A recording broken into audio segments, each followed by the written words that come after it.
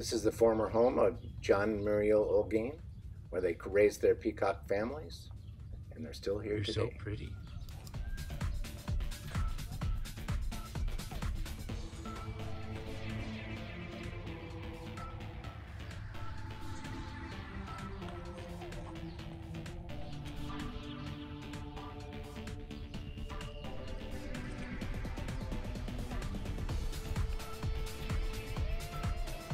pretty boy.